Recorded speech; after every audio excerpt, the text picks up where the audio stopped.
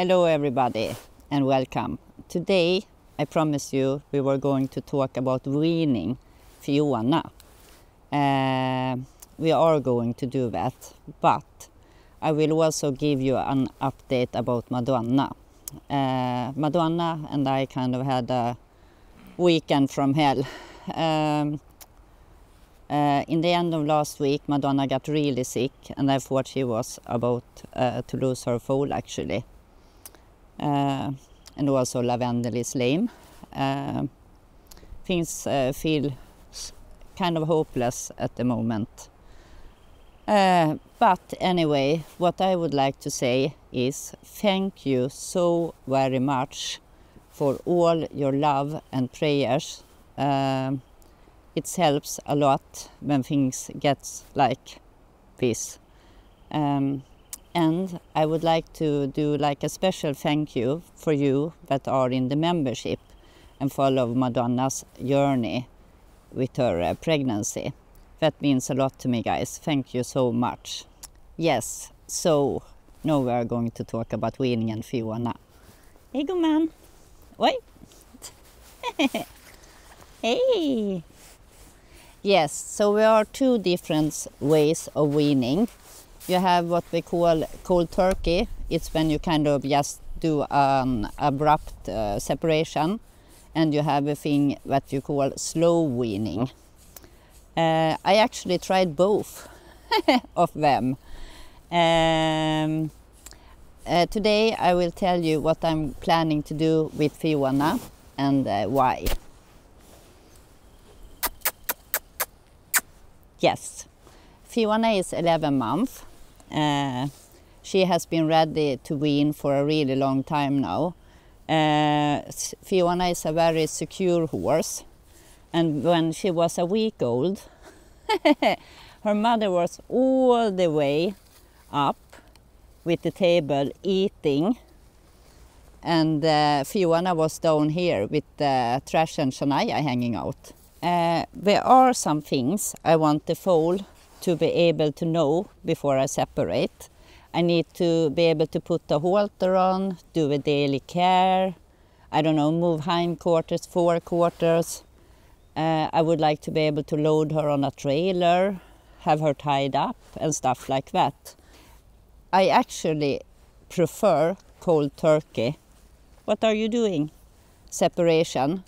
Uh, because when I have done it cold turkey, I think it has been really low stress on the foals.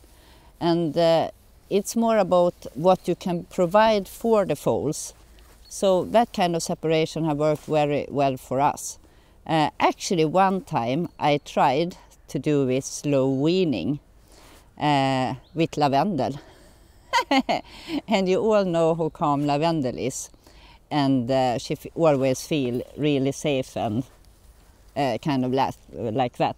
So anyway, I started to do this slow separation with lavendel and when I discovered that every time I did that kind of thing, separating her mother and her for a little, little while, hey, Lavendel was like kind of really stressed out. Uh, when I decided it was time to separate Lavendel for real.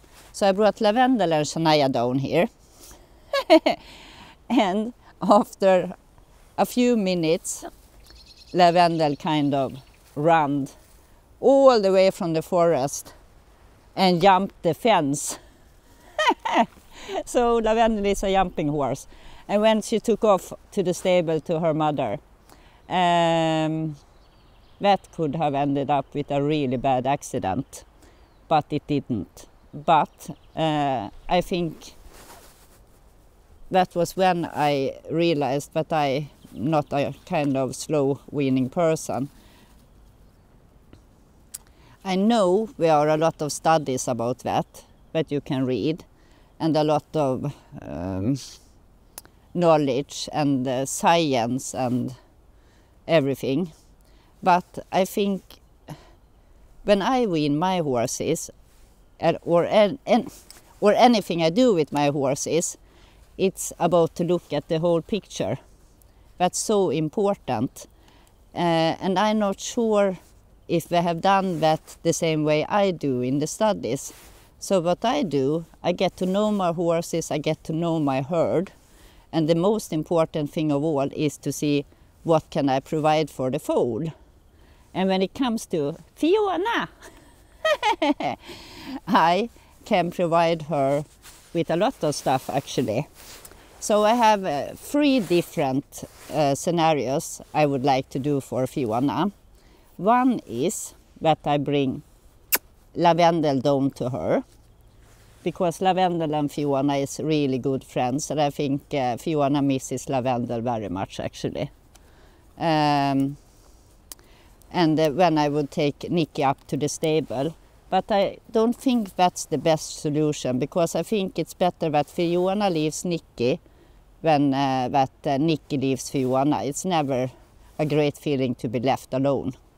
No, it's not. Puss. Another plan I had was to have Nicky down here and bring Fiona to the stable to Lavendel. Then Fiona wouldn't have Shania and Trash. And Trash is so important because he plays with Fiona. Are you going to play Trash with Fiona? Do it.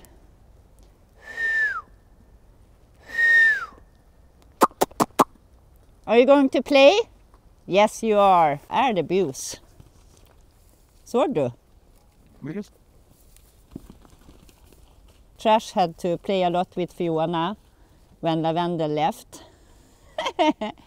and he, you can play with her trash.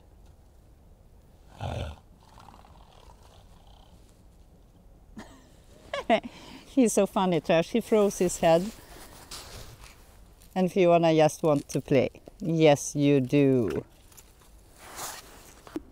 Shania is the safe herd leader for Fiona, so she is really important too. Um, when I come up with the third plan, yes. it's that I bring uh, Fiona and Nikki to the stable. I leave Nikki in the stable. When I take down Lavendel and Fiona to Shania and Trash. Uh, when Fiona would have her best friend, she would have her uh, funny Uncle Trash and she would have her safe herd leader. And she would be in a place where she feels very safe. So I think that's actually the best option for Fiona. Um, I think often people kind of, I don't know how to say this, because I like science and stuff like that and I like to learn new things but you can't get like all you can't it's so hard to explain. The most important thing is to see the individuals and to get to know your horses not what anyone else have done uh, science or research about horse, horses in general you, you need to know your own horse. Because we are all different individuals. And maybe someday I have a foal and feels like hmm this foal I might try slow weaning again. But we all are different. And it's why it's so important to change directions and not get like locked in in something. I I think it is so important actually uh, the plan now is to go to the stable and I will give you an update about Madonna and Lavendel too. Yes, and so this Madonna update. Uh, in the end of last week, uh, I took Madonna in and I noticed she was really like low and tired. Uh, she started digging in the box in the ground and uh, looking at her stomach and uh, something was wrong. I could really feel it. And she started walking around in the box and I thought, hmm, is it time to lose the foal or does she have a colic? Um, I know when the horses has colic, they shouldn't lay down, but I actually let her lay down one time because I wanted to see if her plan was to push out the baby or if it was the stomach. Uh, she just laid down, so I, I wasn't still sure, but I called out the vet. Hey, mama. Hey, mama. Hey. So the veterinarian came and uh, examined Madonna and uh, thought it was colic.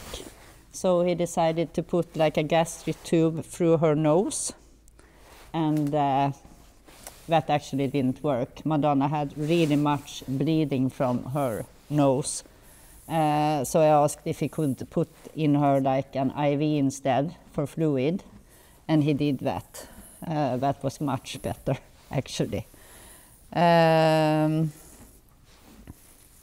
she also got like pain relief. Uh, so it was a really hard weekend, Madonna. Uh, I was spending all the time in the stable, of course, because colic, it's really, it can go so fast the wrong way. Uh, you never know, actually.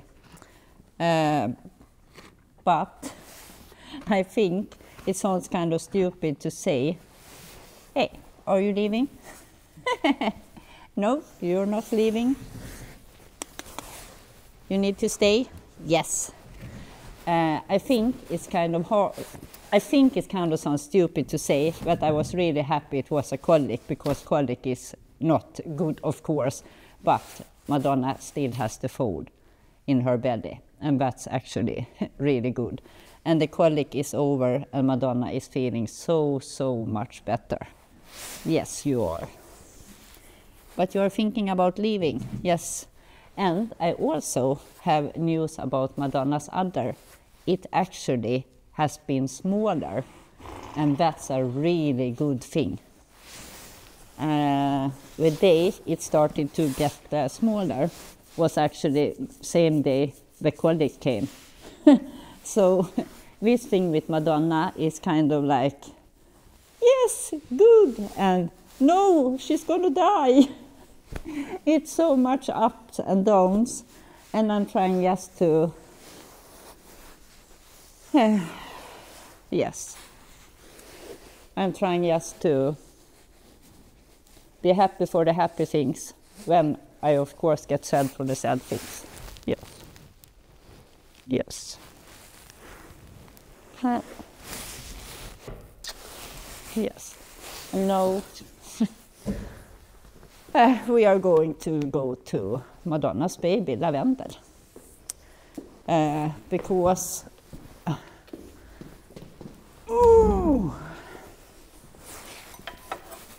But first, we need to say, Hey, Frosty.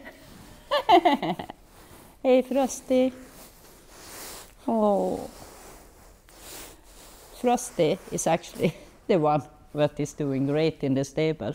You take care of the ladies. That's your job. Oh, puss. Is it your job to take care of the ladies? Yes, I think so. Hmm. Hmm. Hmm. Yes, okay. Uh, so yesterday, Lavendel was like crazy lame. Uh, she jumped on three legs uh, for no reason. Uh, so the veterinarian is coming today. Yes, you are bored being in the stable, I know. so the veterinarian is coming today and will do x-rays and stuff. Of course, I update you in the next episode about lavendel, uh, what is wrong. Uh, when horses get lame, you don't know, is it like a hoof abscess, which is actually kind of a good thing, or uh, is it something that actually is broken? Lavendel, what are you doing? Hmm. Yes. Hmm. Uh, anyway, uh, thank you so much for watching this episode with me. No, Thank you so much for watching this episode.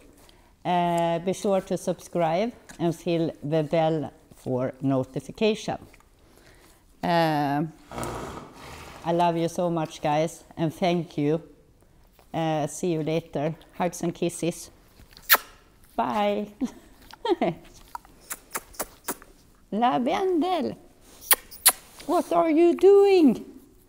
Ding, ding, ding, ding.